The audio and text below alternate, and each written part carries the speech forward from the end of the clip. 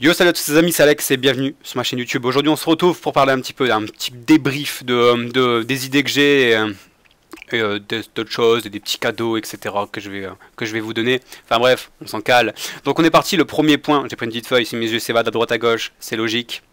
En plus, normalement je regarde toujours là, alors qu'il faut que je regarde là, mais j'ai pas l'habitude parce qu'il y a la lampe qui m'éclaire les yeux.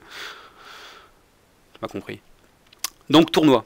Euh, j'avais parlé d'un tournoi, un tournoi IRL, donc dans la vraie vie, un tournoi Yu-Gi-Oh qui se passerait à Lille. Donc pourquoi Lille? Parce que j'habite à côté de Lille. Peut-être dans l'avenir sur Paris, mais bon, on verra déjà les premiers tournois, ce que ça va donner. Je suis en train de mourir. Donc euh, on a pensé à plusieurs choses. Donc euh, il nous faut une salle déjà, parce qu'il nous faut des chaises, une table. Il faut qu'on soit chaud parce que c'est l'hiver, il caille bien. Donc le tournoi sera en janvier. S'il n'y a pas de problème, ce sera en janvier le tournoi. Donc on a pensé à plusieurs choses. Donc soit... Euh, et je me perds dans mes mots, c'est un truc de fou. Donc on a pensé à plusieurs, à choses pour ce tournoi, c'est d'abord avoir une salle. Donc comment avoir une salle? On a pensé à une association, donc on pouvait euh, s'inscrire dans les mairies pour avoir une assoce et après avoir des salles allouées gratuitement. Des salles allouées gratuitement. Des salles gratuites, je voulais dire. Deuxième point, salle allouée, carrément. Donc une salle allouée en moyenne pour une journée, ça va entre 30 euros et 400 euros. Ça dépend de la salle, ça dépend le nombre de personnes, ça dépend si la salle. J'ai même demandé à des gens et on a, chopé une salle qui est pas chauffée. Donc forcément, en hiver, on va cailler sa race, un truc de ouf. Donc on peut pas. Une assos, c'est bien, mais on a des, des, règles à respecter au niveau des horaires. On doit rendre la salle à telle heure, telle heure. Donc c'est un petit peu, un petit peu euh, casse-couille. Euh, on a pensé à un bar, à faire euh, un event dans un bar, donc euh, demander directement au propriétaire du bar pour avoir son bar, par exemple, j'en sais rien, moi, de 3h jusqu'à 22h, avoir la permission de pouvoir jouer dans son bar, etc.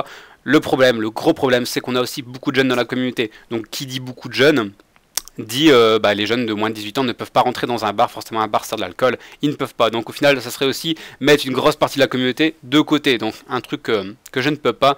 Donc on a pensé vraiment à garder la salle, une salle où on va payer une cinquantaine, une centaine d'euros pour la, journée, avec du chauffage, des tables, des chaises, et une salle assez spacieuse. C'est tout ce qu'il nous faut. Après le reste, on va gérer.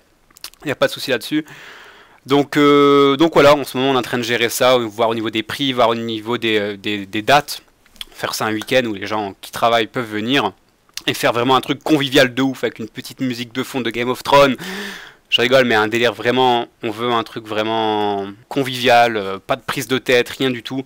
Donc on est en train de gérer pour voir euh, ce point-là. J'ai un petit deck là, Cyber Dragon, au calme. J'en ai déjà ouvert 3, j'en ai pas besoin d'un de plus. J'ai lu gratuit dans le pack, euh, un pack Noël. Donc il me sert à rien, je le ferai gagner sur ma page Facebook, les liens sont dans la description. Voilà, ça c'est fait. Et bonne chance au gagnant. J'espère qu'il me dira merci le gagnant aussi, ça peut, ça peut être sympa. Et troisième chose, le groupe Facebook. Donc vous voyez dans la description, juste en dessous, il y a ma page Facebook et il y a un groupe Facebook. Enfin bref, on s'en fout. Je vais revenir au groupe Facebook. Au groupe Facebook, on est 700, 750, un délire comme ça sur le groupe. Le groupe il a été créé il y a 3 mois. À la base, j'ai créé ce groupe-là uniquement pour que les gens de la communauté de, euh, YouTube puissent aller dans le groupe Facebook, puissent faire de leur vente, faire leur publicité, j'avais même dit au début, faire leur publicité de leur page YouTube pour, pour promouvoir leurs vidéos si ça parle de Yu-Gi-Oh! Forcément c'est un groupe, le groupe s'appelle Yu-Gi-Oh! FR, donc c'est le jour, c'est logique. Donc c'était un groupe à la base, j'ai créé ce groupe là pour la communauté, euh, bah, la communauté qui me suit sur YouTube. Mais le truc, c'est qu'en en fait, sur Facebook, bah, il y a des gens qui tapent Yu-Gi-Oh! etc. et qui tombent sur plusieurs groupes. Donc, il y a des groupes qui sont gérés par euh, Banque de France, qui, euh, qui est une, une, personne qui fait aussi des vidéos sur YouTube, etc. Il y a deux, trois autres groupes. Il y a, on va dire qu'il y a 5-6 groupes qui, sont là pour la communauté. Sauf que moi au début j'arrive, je crée mon groupe juste pour la communauté, au final je, retrouve des gens qui me suivent pas du tout, qui arrivent dans leur groupe, qui font leur vente, etc. Tant mieux, je m'en cale, tant mieux pour eux, c'est impeccable. Et même si ça fait revenir d'autres gens, c'est mieux. Euh, donc alors il y a des gens qui font leur pub, leur annonce, sauf qu'il y a des gens qui mettent, euh, il y a toujours des arnaques comme dans, partout sur eBay, sur, sur le bon coin, etc., qui mettent des ventes de cartes et au final, ben, ils n'ont pas les cartes. Donc en fait, ils vendent, ils prennent l'argent et ils cassent, ils disparaissent du groupe, etc. Donc j'ai mis deux admins. J'ai mis euh, Quentin et euh, Yugimoto. Yugimoto qui est un autre euh, YouTuber. Donc il y a ces deux admins là qui font la police. Donc évitez le spam. Donc évitez le spam, pourquoi? Parce que moi je m'en fous, vous mettez 50 000 annonces sur le groupe, vous faites ce que vous voulez, moi je suis sur le groupe, je suis constamment sur le groupe, donc ça me dérange pas. Mais le truc c'est qu'il y a les 750 personnes qui sont inscrites sur ce groupe, se font spammer de publicité, de publicité, genre venez voir mon groupe, euh, venez voir mes musiques sur YouTube, des trucs qui n'ont rien à voir. Donc euh, c'est pour ça que j'ai décidé de prendre deux admins pour supprimer ces, euh, ces annonces-là. Donc il y a d'autres personnes qui ont dit ouais ça fait trop la police, il y a trop de règles sur ce groupe-là.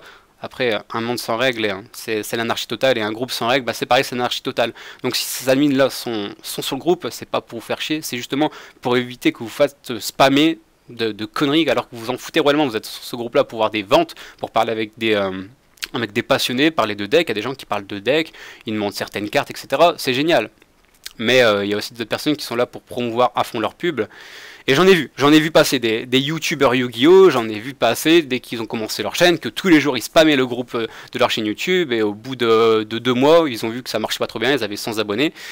Et ils se barrent du groupe, ils disparaissent, leur chaîne ferme, etc. Ça, il y en a énormément sur YouTube, de toute façon, sur, euh, sur, le domaine de Yu-Gi-Oh! si t'es pas passionné, si t'es là pour faire des vues, t'es mort. T'es mort, clair et net. C'est foutu. Et ça marchera jamais. Vous pouvez regarder dans ma chaîne YouTube. Alors, il y a une qualité dégueulasse. Hein. Si vous y allez, vous pouvez aller dans les playlists, regarder les tournois que je faisais. J'organise des tournois. Hier, j'ai regardé ça avec un pote, j'ai chopé des barres. Parce que je regardais mes vidéos, j'étais dans un bad, dans un bad trip. Mais j'étais en kiff. J'étais en vacances. J'avais organisé un tournoi de 32 personnes. Donc, 32 personnes, trouvez les horaires de 32 personnes. Un tournoi via Skype, hein, pour ceux qui savent pas. Donc, Skype, c'est-à-dire qu'il faut que les deux ont une bonne qualité de caméra, les deux ont un bon son, et les deux sont disponibles. Et c'était moi à gérer les 32 participants, donc 16 personnes contre 16 personnes, à gérer les disponibilités de tout le monde. J'ai fait ça pendant une semaine, et au gagnant, je lui ai acheté une Teambox que j'ai envoyée. Je crois que c'était à Tenalik le premier, le deuxième, je ne sais plus. Enfin bref, on s'en fout. Je suis parti même à, à, Pickwick, aller chercher la Teambox, la payer, faire une vidéo, etc. Lui livrer par la poste, et voilà. Le tournoi était 100% gratuit, et, euh, et, la majorité des gens, des 32 joueurs, ont kiffé. Par contre, ce tournoi m'a pris environ une trentaine d'heures. Une trentaine d'heures, un déplacement, j'ai payé. J'étais constamment sur, Skype et sur Facebook à parler avec les gens pour, euh, pour leur donner leurs horaires, etc. C'est un boulot de dingue, c'est un boulot qui m'a rapporté zéro, limite ça m'a fait perdre du temps, ça m'a fait perdre de l'argent, mais comme j'ai kiffé faire ça, pour moi c'était c'était un kiff, c'était un kiff simple. simple. Donc, euh, je sais pas pourquoi je parle de ça, mais je vous jure, j'en ai aucune idée pourquoi je parle de ça. Je vois beaucoup de, youtubeurs arriver, ouvrir des boosters, etc. à droite et à gauche, et vous voyez que ça fait pas énormément d'audience, donc se casse. Donc c'est logique. J'en ai aucune idée de pourquoi je parle de ça, mais vraiment aucune. Il y a beaucoup de différences entre des passionnés, des gens qui sont là pour revendre, des gens là qui sont là pour faire que leur pub H24. Donc ces deux admins, qui sont Yogimuto et, et Quentin, sont là pour faire la police entre guillemets, parce qu'ils sont pas payés, ils sont juste là, c'est des arbitres, c'est comme quand vous faites un match de foot entre potes et que tout le monde veut jouer et qu'il y a un qui fait bon allez je vais faire l'arbitre, euh, comme ça vous pouvez jouer. C'est un mec qui se sacrifie pour faire, la, pour faire un petit peu la police et pour faire les règles de ce groupe. C'est la même chose avec ces deux personnes-là, ils sont pas payés, ils font ça par pur bénévolat et ils sont là pour vous éviter de vous prendre des spams, des spams et ils sont aussi là pour éviter les arnaques. Mais les arnaques, comment vous voulez que ces deux gens-là gèrent les arnaques Il y a des gens, par exemple, moi je vais vendre cette carte-là. Cette carte-là, je vais vous la vendre, la personne va l'envoyer. Je vais même vous montrer un truc. Ça, dans cette caisse-là, j'ai mis deux annonces. J'ai mis deux annonces sur le groupe. J'ai tout ça qui doit partir demain à la poste. Demain, ça part à la poste pour tout le groupe. Et ça, c'est une journée. Donc, il y a forcément énormément de gens qui font la même chose que moi, qui vendent leurs cartons doubles, ils les balancent, ils récupèrent, ou ils font des échanges. Ça arrive, vente, échange, etc. Mais comment vous voulez que, c'est, que Quentin et, euh, et Yugimoto euh, gèrent euh, Il y a un problème, lui il m'a pas payé ma carte, est-ce que tu peux aller le voir? Donc moi je vais aller le voir, ou Quentin va aller le voir. On va aller voir la personne, excuse-moi, tu devais envoyer une carte, tu l'as pas envoyée, comment on fait? La personne nous bloque. Elle nous bloque. Donc on va reprendre un, un, autre compte, on va lui parler, la personne nous bloque. Qu'est-ce qu'on fait? Il y a des gens qui me disent faut prendre un avocat. Sincèrement, je fais des vidéos sur YouTube pour kiffer. Je montre mes ouvertures. Et maintenant, je dois aller chercher un avocat pour défendre des gens alors que j'ai créé un groupe pour une communauté. Vous voyez l'ampleur que ça prend. faut prendre un avocat. Mais je vais prendre un avocat. Ou une autre marque que Quentin ses prières. Euh, force cette personne-là à me payer. Il m'a demandé de garder mes cartes. Il lui a demandé de garder, euh, garder toute, cette, carte. La personne a gardé ses cartes. La personne lui dit non, au final, je le prends pas. La personne lui dit non, si tu m'as gardé mes cartes, tu les prends. Donc il vient me voir, il va voir, il va voir Quentin et lui dit force-lui à à acheter mes cartes. Quentin va voir la personne, la personne a 13 ans. La personne a 13 ans. Vous croyez vraiment que Quentin va aller voir la personne de 13 ans et lui dire tu payes cette personne? C'est quoi? C'est j'incite un mineur à, acheter euh, les produits d'une autre personne. Il y a la personne a 13 ans, on peut pas, on peut pas du tout gérer euh, ce style de ce style de vente. C'est à la personne de faire gaffe. Au début du groupe, il y a une liste avec toutes les règles, avec tout ce qu'il faut se méfier de A à Z par euh, quel moyen faut, faut, faut, faut régler par PayPal, etc. Là, vous avez une sécurité, envoyer ses colis en lettres suivies. Il y a toutes ces choses-là. Mais euh, Quentin, c'est un admin. Quentin, c'est quelqu'un, ou euh, Yugimoto, c'est quelqu'un comme, euh, comme moi, comme, comme toi, comme, comme tout le monde, qui est là pour rendre service. N'est pas là pour aller mettre des coups de pression à des, à des gosses de 13 ans, à leur demander de payer. Il va pas aller finir ses journées au commissariat de police à forcer des gens. On peut pas gérer ce, ce genre de choses. C'est pour ça qu'on vous avait une liste, une liste de règles. Il y a beaucoup de gens qui disent Oh, la liste de règles, elle casse les couilles. S'il y a trop de règles, c'est vraiment chiant. Si on fait ça, c'est parce qu'on peut pas gérer tout ça. Donc on a une liste pour vous prévenir et pour vous garantir au maximum votre carte mais on peut pas tout gérer. Et, euh, et voilà. Je voulais parler quoi de plus? Il y avait ces choses-là. Je peux pas dire que ça me prenait la tête, mais euh, on mettait, les gens mettent des pressions sur les admins alors que les admins sont là pour rendre service les gens. On m'a dit, Alex, cette personne-là n'a pas voulu prendre mes cartes. Elle m'a dit qu'elle gardait mes cartes et au bout de 2-3 heures, elle m'a dit qu'elle ne les voulait pas. Est-ce que tu peux dégager cette personne-là du groupe? La personne. Je veux dire, la personne ne vous a pas volé vos cartes. La personne ne vous a pas piqué vos sous. Moi, si vous voulez savoir, dans toutes les ventes que j'ai fait depuis le début, depuis un an, j'ai dû faire 300, 300, 400 ventes. Sur les 400 ventes, j'ai peut-être 150 ventes où on m'a demandé Alex, garde-moi ces cartes-là de côté, je te l'achète demain. Ok, ça marche, je te la mets de côté. Au bout d'une semaine, la personne n'est pas revenue. J'ai pris les cartes, je les ai remis à la vente. Je vais pas aller mettre des coups de pression à chaque personne, c'est pas mon rôle, j'en ai rien à foutre. Totalement. Après, je peux comprendre qu'il y a des gens, ils veulent à tout prix vendre leurs cartes, la personne les a bloquées pendant deux jours, ça leur fait chier. Je peux le comprendre. Moi, ça m'arrive, ça m'est arrivé sur des milliers et des milliers de cartes. C'est pas pour autant que je vais aller, euh, je vais aller déposer plainte sur cette personne. C'est chiant, mais ça arrive, c'est le monde dans lequel on vit. Et euh, ces personnes-là peuvent rien faire. J'ai déjà vu des groupes avec un avocat dans le groupe. Non, sérieux, un avocat pour vendre des cartes Yu-Gi-Oh Excusez-moi, monsieur l'avocat, il m'a pas pris ma carte. Mais qu'est-ce que tu t'y fais? Il te l'a pas volé. Vous êtes d'accord? J'espère. J'espère que je suis pas dans un bad, mais euh, mais mais voilà, on fait de notre mieux, honnêtement et sincèrement je fais de mon mieux pour, euh, faire les vidéos. Pour euh, les gens qui me demandent des cartes, vous, euh, vous prendre des photos, vous mettre les cartes, aller sur les, les prix. Je vais sur Yuki Card Market, la carte je la vois à 7 euros, je vais, la mettre à 4 euros. Je vais complètement péter le prix pour pouvoir que, pour que les abonnés puissent payer la carte la moins chère possible. Je passe des heures et des heures à trier des cartes. Je vais vous montrer. Juste derrière ici, vous allez voir, je sais pas si vous verrez avec la lumière, mais ça fait 3 jours que je trie des cartes. J'ai trié 25 000 cartes en 3 jours.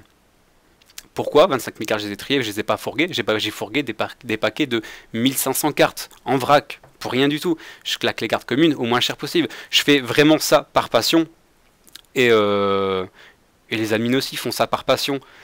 Mais c'est vrai que c'est un truc que j'ai pas l'habitude, c'est peut-être de ma faute, j'ai pas l'habitude, j'aime pas discriminer des personnes, j'aime pas dire cette personne-là, elle dégage, lui c'est un youtubeur qui a 8000 abonnés, donc lui c'est une personne que je connais pas, donc euh, le youtubeur a raison, la personne je dégage, je déteste faire de la discrimination, c'est juste horrible. C'est pour ça que je laisse tout le monde dans le groupe, et quand on me dit fait la police, c'est un truc que je déteste faire. Après, forcément, si la personne a arnaqué, je le dégage, ça c'est sûr. T'as arnaqué à personne, tu te casses, tu vois. C'est normal. Mais euh, commencer à, juger les gens parce qu'ils n'ont pas pris les, cartes, parce qu'ils avaient dit de les garder, etc. C'est. Euh, je crée un groupe pour, pour le plaisir de la communauté. Je crée pas un groupe pour faire une police. Du tout. Quentin, lui, a fait des, règles. il a fait un pavé, un pavé de règles. Il n'a pas fait un pavé pour vous faire chier. Il a fait un pavé pour que vous ayez le moins de problèmes possible avec les autres. C'est tout juste ça. Et euh, je peux comprendre que ça fait chier, mais euh, je pense que c'est la meilleure chose pour que tout le monde tout le monde kiffe tout simplement. Et je parle depuis 15 minutes. Donc voilà, c'était euh, c'était un petit peu pour vous donner des nouvelles au niveau du tournoi, vous faire un petit cadeau et, parler un petit peu du groupe et vous dire qu'on ne peut pas tout faire. C'est un groupe de passionnés pour des passionnés. C'est voilà. Sur ce, je vous laisse. On se dit à demain pour une prochaine un prochain vlog, demain je me casse à Piquic et je vais dévaliser le magasin. Ciao